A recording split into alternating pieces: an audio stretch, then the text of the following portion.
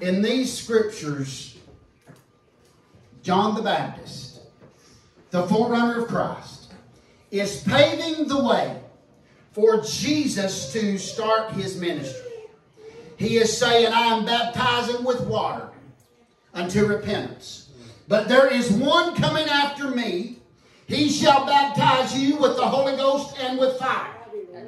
Now the word shall, everybody say shall. shall. Now the word shall is used to express what is inevitable or what is going to happen in the future. Shall.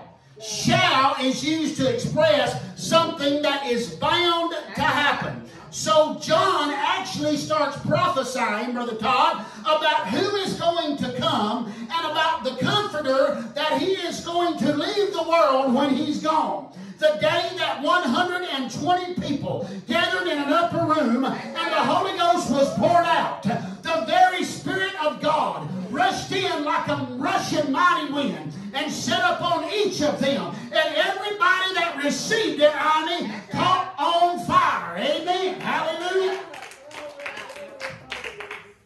Amen. This is probably going to go back and be some old time preaching this morning. But how many of you know sometimes we need some old time preaching? Come on, somebody. We don't need, listen, there's too much fluff in the pulpit now. There's too much cotton candy in the pulpit now. Sometimes we just need some old time preaching. I want you to know that there's a lot of people out there today that believes the Holy Ghost is nothing more than a tongue talking experience.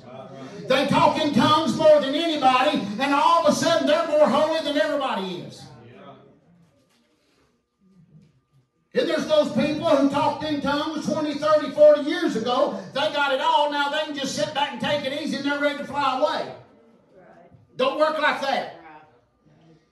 I'm going to tell you something, folks. We haven't always got it right over the years. That's right. We got people prayed through. They got baptized in Jesus' name. We prayed them through to the Holy Ghost. And then they were given a set of man made rules that were nearly impossible for anybody to follow. That's right. Most of them you can't even find Bible for. Women were told, oh, you better wear a dress or you're going to hell. Yeah. Men weren't really told much of anything because they were the ones making the rules. That's true. Yeah. Yeah. Amen, Pastor. That's true. Yeah. That's right. Adultery, fornication, lying, gossiping, backbiting. You don't hear a lot of that preached in the pulpit anymore, but I can find more Bible for those things than I can find for how a person's going to dress. That's right. That's true. Amen. I wish I had a hand clap this morning, but that's all right. I'll preach anyway. Amen. And look, I believe in holiness, and I'll tell you what's happened in the Pentecostal church, folks. As long as people look the part, Yes, that's true. Yeah. That's Yeah. as long as they look the part, they're okay. But see, people look the part and they get left alone and they are uneducated on the fact that there has to be a relationship with God that is cultivated with prayer, that is cultivated with fast- fasting, that is cultivated down on your knees and staying in the Word of God. It's those things that will show you what true holiness really is. And I'll tell you right now, if a person has the real Holy Ghost, you won't have to worry about if they're dressing holy. If they've got it, they'll dress it. That's right. Yeah. The Holy Ghost will change the very nature of who you are if you will submit your life to it. Amen. Let me tell you something, church. If you've really got the Holy Ghost, you'll bear fruit. That's right. That's it. It's, it's, you'll bear fruit. Galatians 5, 22, 23. Paul said, but the fruit of the Spirit. Now, wait a minute. He didn't say a spirit. There's a lot of spirits, ain't but one spirit, and that's the Holy Ghost. That's Him. Come on. When you see a capital S, it's talking about the Holy Ghost. It's talking about the Spirit of God. So Paul says the fruit of the Spirit is love, joy, peace, long suffering, gentleness, goodness, faith, meekness, temperance. Against such there is no law. Paul never said the fruit of the Spirit is tongues. Right. Yeah. Come on. That's true. That's right.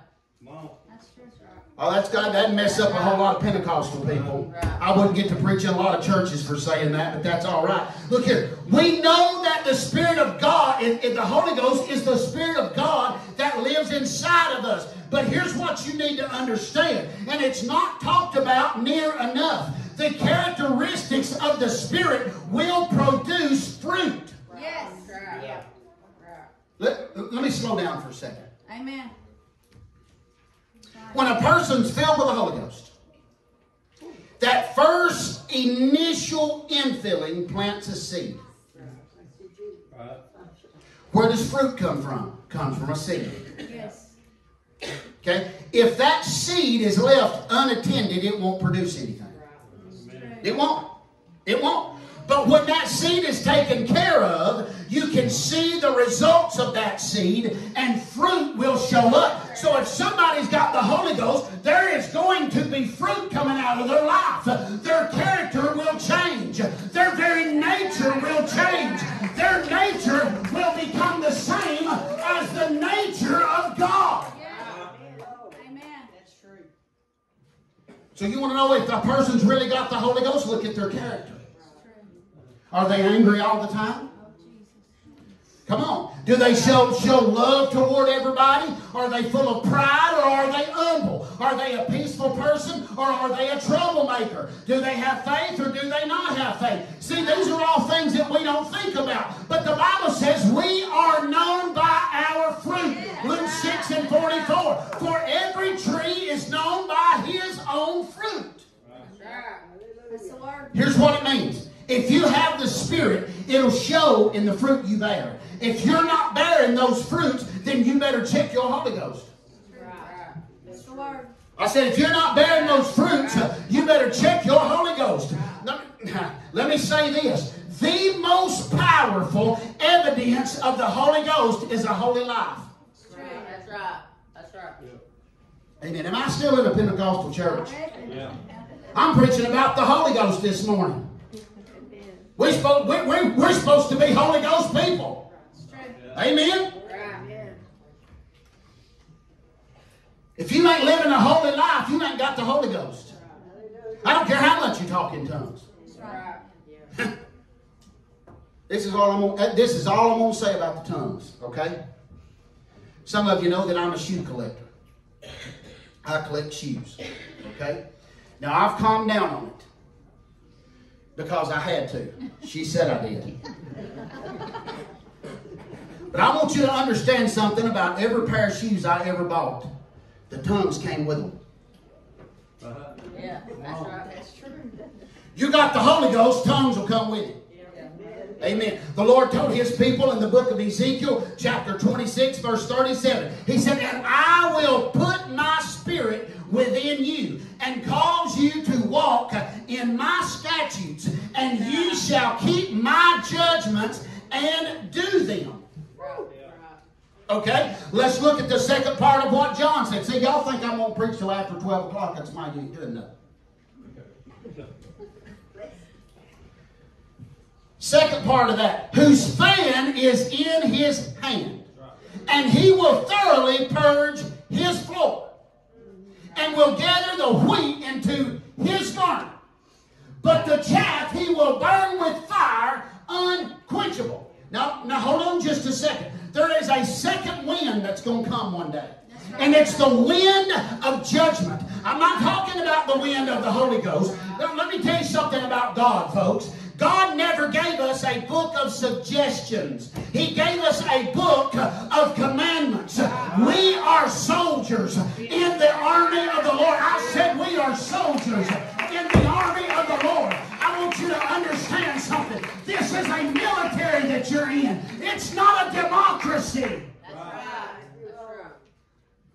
In the military, they don't have suggestion boxes. That's right. Yep. Yep.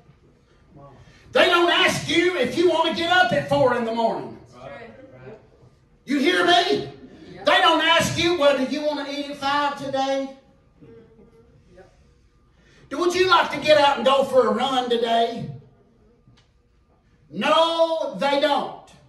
They tell you what to do and you do it. Yep. Mm. See, we have been bought with a price. We are not our own. We do what He tells us to do, or we are wrong. It's that simple. We go by the Word of God, or we are wrong. And a lot of church today is of the belief that they can manipulate God somehow. In some way, they can get around certain things, Brian, that are in there. Come on. Some scriptures apply to them and some of them don't. But there's coming a time where God's going to get that fan out. And the Bible said that He's going to purge His floor. He's going to thoroughly purge His floor. He ain't going to just purge it. He's going to make sure that it's clean. He's going to make sure that everything is swept and garnished. He is going to take everything out that is not like Him. Well, what is His floor? I'm glad you asked. The Lord said, Heaven is my throne and the earth is my footstool. His floor is all the earth. All the earth. But that place of judgment that God is going to start with is going to be in His house. He is going to start judgment with His church.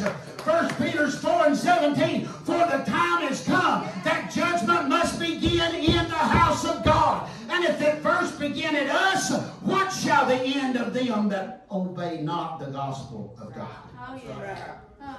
Yeah. He's going to start with the ones that's claiming to be something. He's going to start with the ones that said, Lord, have we not cast out devils in your name? Yeah. Lord, I love you. Oh, I love you, Jesus. I go to church once a week. He's going to start with those. You hear me? Right. You better listen to me this morning. We prophesied in your name.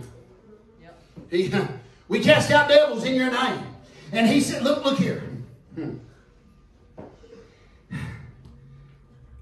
He's not, on, he's not only going to start with the church, but when he gets done with the church, he's going to start with the nations. Yes. You better listen to what I'm saying this morning because you can turn on the news and you can see the Bible unfolding in front of your very eyes.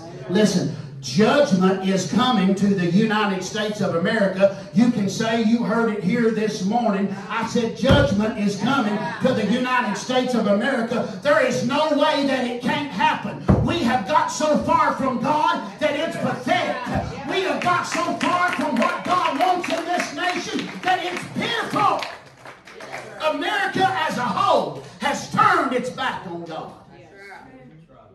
And God is not going to stand for that forever.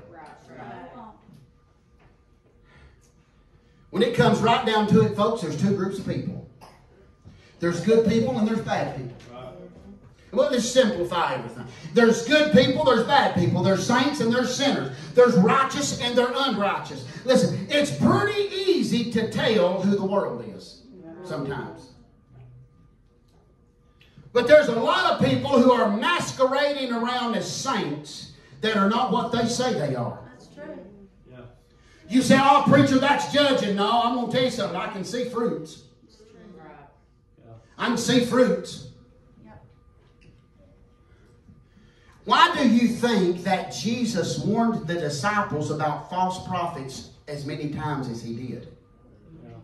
In the book of Matthew 24, I believe it's either four or six times. I'll have to go back and read it. He warned, he kept on, he kept on. Beware of false prophets. Beware of those who's going to lie to you. Beware. They said, Lord, what's going to happen in the end? He said, the first thing you need to understand is there's going to be a lot of people and they're not going to be telling the truth. They're going to come saying they're me. They're going to come preaching in my name. And what they're saying is not going to be true. Listen, folks, if you do not have the Holy Ghost, you will not be able to discern what is a truth and what is a lie.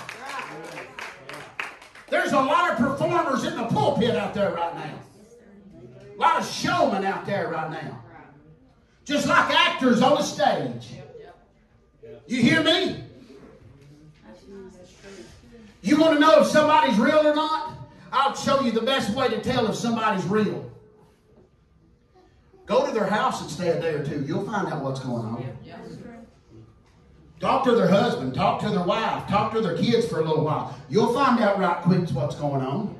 Look at their DVR. Look at what they're watching on TV. Go out there and turn on the radio in the car. See what stations they got saved. Come on, I tell you something. You want to find out somebody living a holy life, you start probing in their everyday life uh, what they're doing when nobody else is watching. You'll find out who's holy and who ain't holy. There's a story that Jesus told the disciples in Matthew 13 about a man that sowed some seeds. And while that seed was growing, the enemy came in and sowed tares. Okay?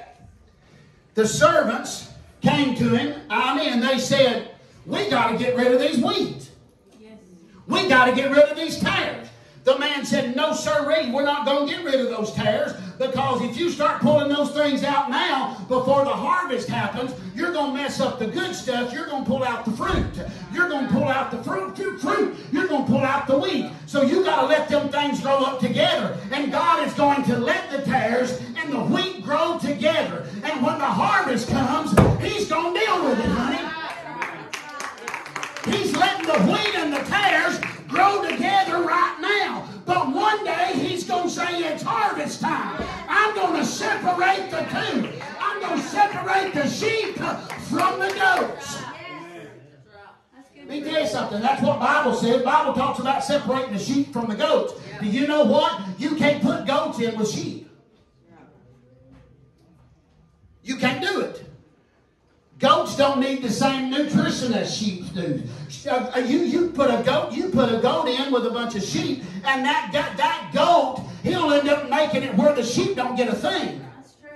He will root the sheep plumb out. He'll eat everything inside. And the sheep will end up not getting anything they need because the goat will eat it all up. Yeah. And we got a bunch of goats Yeah. That are taking nourishment from the sheep. Amen. Yep. Right. Well, I- I'll just go ahead and say it. That's good preaching. It is. That's right. I'm going to tell you something. I listened to a preacher this week. I listened to a preacher this week. His name was B.H. Clendennen. He's an old preacher. Anybody ever heard B.H. Clendennen? Old, old preacher. I mean, old preacher. He was started back in 1950 something and preached all the way through the 70s, 80s, maybe even the early part of the 90s. I listened to a message, Brother Todd, while I was on the lawnmower yesterday. Old B.H. Clendennen was preaching. It was 1982. I got about halfway through that and I thought, Lord God, if he was preaching today, people would run him out. He'd never get to preach nowhere. You preach hard today, buddy, they're ready to get rid of you.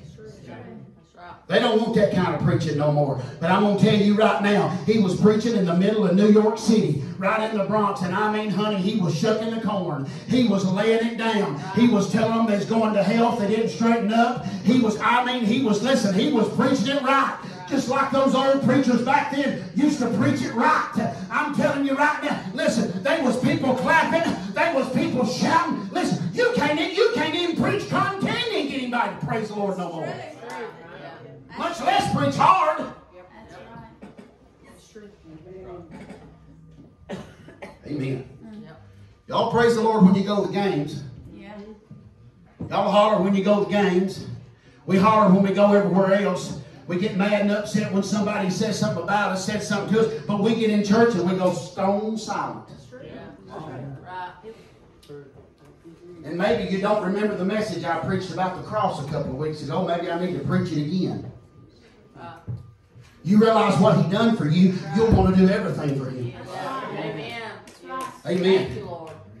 Amen. Amen. Let me tell you something about, about sin, okay? Let me tell you something about sin. When that fan comes out, God's going to purge that church. Yes. And here, let me. God hates sin. And until a person sees sin the way God sees sin, Yes. he'll never leave it alone. That's true. Yep. Until you see sin the way God sees sin, you're a sin. You'll be always be a sinner. You'll never leave sin alone. But Bible says God hates sin. And Paul said, shun the very appearance Right. Right. of evil. The real church will not fit into a world of sin. And we've got churches now that are even promoting sin to attract a bigger crowd.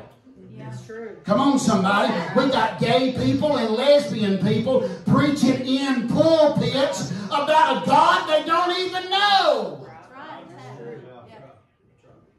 Yes, we do. And we got organizations that are uh, ordaining them. Yes. That's true. Lord have mercy, they got a bigger voice than the church does. Yeah. That's the truth. Yep. Let me tell you something about the chaff and the wheat. They look very similar. Even up close, even from a short distance, you can't hardly tell them apart.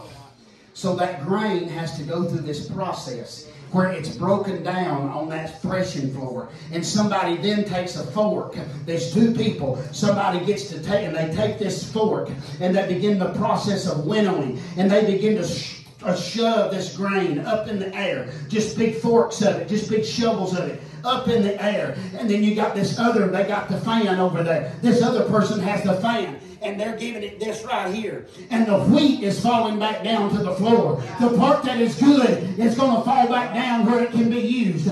But the chaff is going to be blown away by the wind. Honey, you better make sure you ain't part of the chaff. You better make sure that you're part of the church.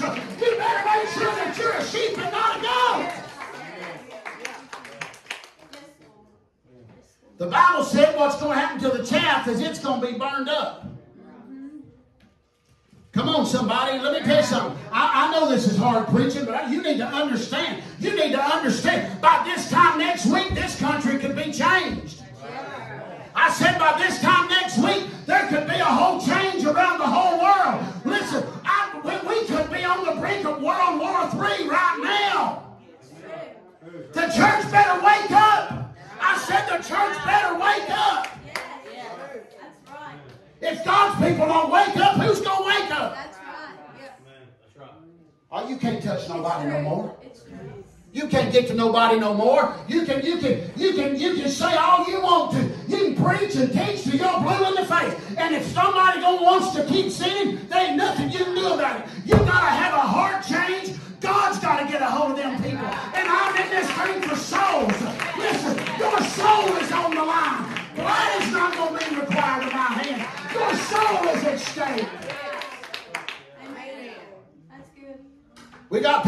Church wanting to try to get help from everything except the Word of God. They're falling for all this propaganda. Buy this book, it'll help you with depression. Buy that book, it'll show you, it'll show you how to be the best you. Let me tell you something. When it comes right down to it, brothers and sisters, this is the only book I need to be the best me. This is the only book I need to fight depression. This is the only book I need to show me how to have faith. I'll take the B-I-B-L-E over any of them books all day long. People going to church and they're falling for every trick in the book. There's a separation coming. Which side will the Lord find you on? I said, which side will the Lord find you on? Let me end with this. If you've got the real Holy Ghost, you'll know how to dress, you'll know what to watch, and you'll know what to listen to. You'll know how to treat people, and you will have a fire in your belly that is burning to serve God. Listen, I said you will have a fire in your belly that is burning to serve God. Listen, when you get around the people of God, there will be something inside you that wants to serve God. There will be something inside you that wants to praise God. There will be something inside you that wants to open your mouth and say, Lord, you've been good to me. So let me tell you what I think. I think the church needs a good dose of the Holy Ghost again. Amen. Amen. Thank you. I didn't mean to preach. Listen, the real Holy Ghost will give you a desire to do the word and hear the word. Yeah. It'll lead you, it'll guide you, and it won't let you fall for an imitation. I said it won't let. Listen, me, I, one of one, of Crystal's favorite places to eat. Y'all ain't gonna believe this because it wasn't like this. Years and years went by. I couldn't get her to go to a Chinese place for nothing. No, I'm not eating that mess. That's dog. That's cat. That's somebody's cat. That's somebody's German Shepherd. I'm not. I'm not eating in one of them places. No, sir, Bob. Uh-uh. No, sir. I'm not eating in one of them places. Listen, I, I, I, try every time. Hey, I, I like them gophers on a stick they got. I guess that's what they're called. I don't know. But I don't know. Within the last year, all of a sudden, she likes Chinese. She just started liking it. I'm like, okay, we don't have to wait. We can go right in and start eating. I like anywhere where you can go right in and start eating. You can't even do that at McDonald's. You got to wait. You can't do that Well, you might get some chips, but all them do is make me mad. But there's there's just stuff that they got that I really like. I mean, I really like it. I pile my plate up with it. I'll go back two or three times and get it. And it's this crab. But guess what? If I if you ate that much crab, it'd cost you three hundred dollars. Yeah. You hear me? If you ate that much crab, real crab, it cost you two or three hundred dollars to get that much crab meat. It's imitation. Yeah. Yeah, it is. It's imitation. It's still good, but it ain't the real thing. It ain't like the real thing, folks. Let me tell you something. Listen, there's a lot of things going on out there that people think are good, but it ain't real. It ain't real. The real thing will cost you more. The real thing will cost you more than a $13.95 buffet. You hear me? The real thing will cost you a lot more. You'll lose friends over it. You hear me? Listen, you're not talking to you're not you're not you're not listening to a virgin voice up here. I've lost friends over it. I said I've lost friends over it. I've lost people who used to call me on a daily basis, basis that won't have nothing to do with me no more. Come on, somebody. Let me tell you, the anointing will cost you. The Holy Ghost will cost you. We got to have it. I said we got to have it. And let me tell you this our children have got to have it. Listen, the most important thing that we can ever do for our kids is to urge them to get the Holy Ghost and get on fire for God. That's it. That's the most important thing we can do for our children is to get them in the altar and get them filled with the Holy Ghost. When Jesus makes his return, I've got a feeling that the church ain't going to look like what a lot of people thinks it looks like. I'm serious. If you got it and it's real, you'll want what God wants. You, because that's His Spirit living inside you. If you got the real thing, you're going to want what He wants. He ain't going to dwell in an unclean temple. He, you're, you're, you're, what you want's going to line up with what He wants. And if what you want don't line up with what He wants, you better go check your Holy Ghost. You better get back. You better get back and get that seed planted again. Come on, somebody, and play. I'm almost done. Listen, I can't come in here and just play church. There's souls at stake. That's right. There's souls at stake. I can't do that, folks. I can't play church. We can't afford to do that anymore. We can't afford to come in here and then just live like we've got another 20 or 30 or 40 years left. We can't. Uh, last was it was it this past Monday that the eclipse happened? Was that this past Monday? Okay. Yeah, we were out there like a bunch of silly things with our glasses on at work, looking up. And I thought, Lord, have mercy. How many people ever go outside and look up waiting? Not for an eclipse, but for Him. Lord, could this be the day? How many people go outside and look up and say, Lord, could this be the day? We don't. And there was a lot of people that said, well, well, you know, the Lord's going to come back. He may come back April 8th when they have this eclipse. Well, let me tell you something. In the United States of America alone, there's between 7 thousand people that die every day. The Lord did come back for somebody Monday. He came back for somebody Tuesday, Wednesday, Thursday, Friday, Saturday. He's coming back for people today. You ain't promised you got it. You ain't promised you gonna live another ten years. You ain't promised you gonna live tomorrow. You ain't promised nothing.